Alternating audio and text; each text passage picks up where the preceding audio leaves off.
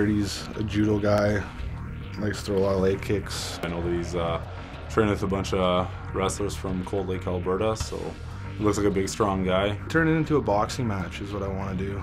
Try to stay away from the ground. Been doing a lot of judo and jiu-jitsu lately, so trying to take it to my, trying to take it into my world. Hopefully, uh, it'd be nice to get the KO of the night, but a W is a W. It really doesn't matter. Uh, to me, a win is a win.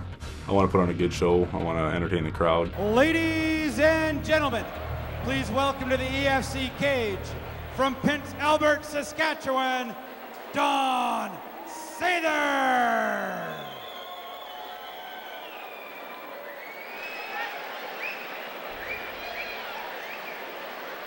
Don Sather, another well-rounded athlete coming into here.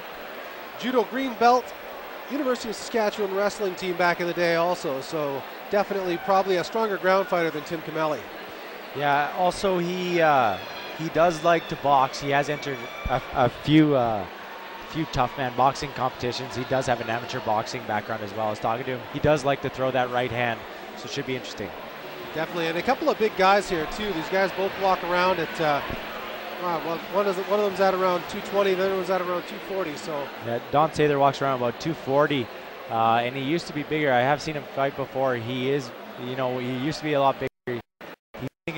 He's thinking of eventually dropping down to 205, which he would be quite quite big for. So I think both these guys actually. I know Tim Chemelli's our defending champion right now, but uh, our last EFC he actually dropped down as well, and I think in the future he is looking at dropping down and maybe make a run for both belts or just uh, make a stay at light heavyweight. I think that he's feeling that he's not the biggest heavyweight in the world.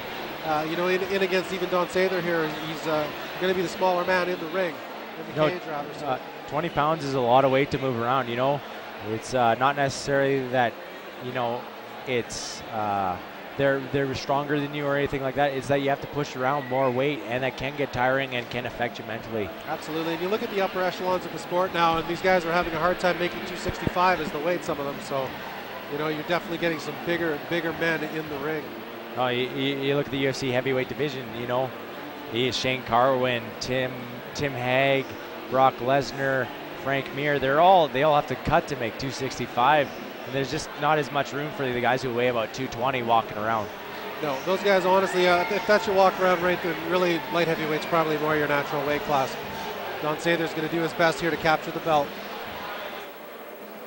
Ladies and gentlemen, please welcome to the cage the current undisputed EFC heavyweight champion, Tim Chemelli.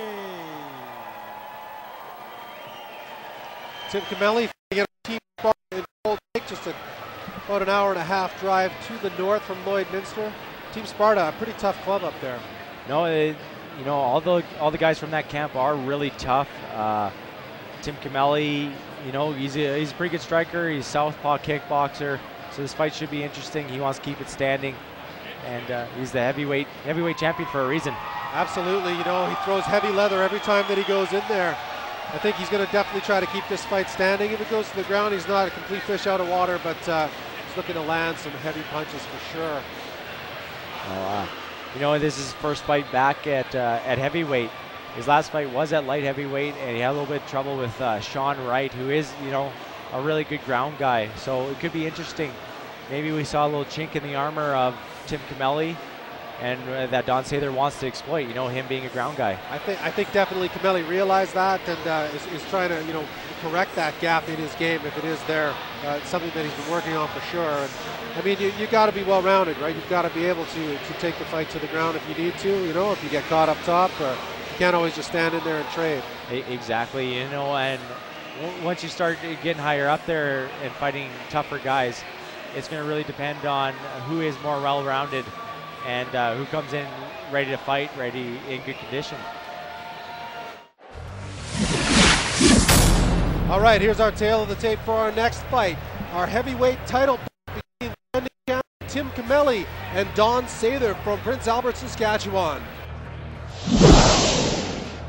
Tim Chemelli looking in pretty great shape. I know he had a big cut to get down to 205, but uh, neither of these guys really had to cut anything to get in here, so they're they're pretty fresh by Tom Truck Oil Field Services is scheduled for five rounds and is for the EFC Heavyweight Championship.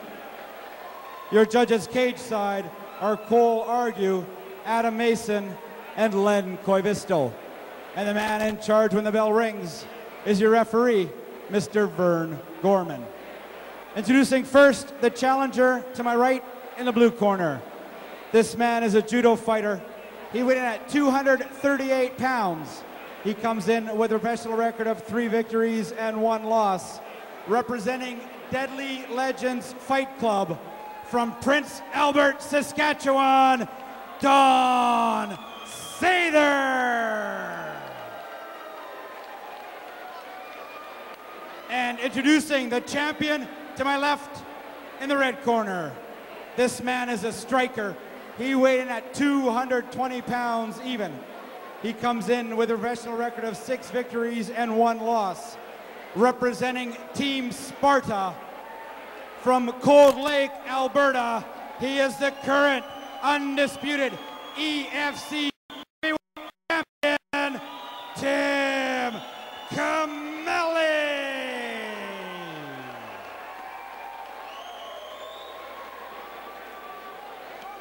Gentlemen, this is a title fight. Remember to listen to my commands at all times. Remember to protect yourself at all times. Fight clean, fight hard, touch them up, come out on the belt. So our first belt of the evening on the line. Tim Chemelli looking to defend his heavyweight crown against Don Sather from Prince Albert, Saskatchewan. The one thing I notice is uh, Tim Chemelli has both knees wrapped. I'm wondering if he's coming in possibly with an injury. I haven't seen him with those before either. That's a good point. Touch gloves and come out. You know, I'm, I'm always surprised about this sport. These guys came into the weigh-ins last night like a couple of buddies. I thought they were together, and then find out their opponents, and now they're going to try to take each other's head off. You know, uh, Don Sather taking the center of the ring. It looks like he's uh, trying to set up a clinch or a leg sweep. Uh, he's really trying to control the center of the cage. Chemelli content to circle, circling away from uh, Sather's power. Well, hey, he's on the, almost in the southpaw stance right now, Sather, though, too. It's oh! and. Looks like he's in trouble. Chemelli trying to finish. It's over. Spectacular knockout by Chemelli. Wow.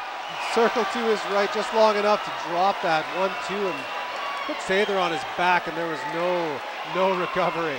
No, you know, he just hit him with that big overhand and right on the button, and he went down. And uh, that's what happens. You just you don't keep those hands up right in the right place. You circle in the wrong way, and you get caught every once in a while. Sather looked like he was covering up and getting ready, but man, he caught that right on the jaw, and he went down, and you could see that the lights were out. Yeah. He, he as soon as he hit him, he went down to the ground. It looked like he almost tried to grab half guard, but it didn't really matter because he didn't have the the faculties yet to uh, really defend himself properly. No, and Chemelli, there was there was no letting up there either. You know, he, he the blood and he went for the kill. Let's go to Dean Panis now for the official decision. Ladies and gentlemen, referee Vern Gorman stops this bout at 36 seconds of round number one. Your winner by knockout and still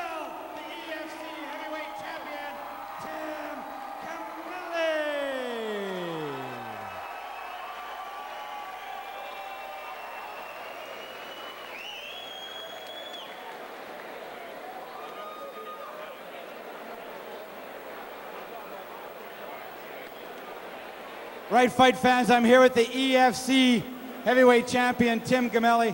Now, Tim came out, I thought you guys were going to feel each other out a little bit. What I mean by that is set your range.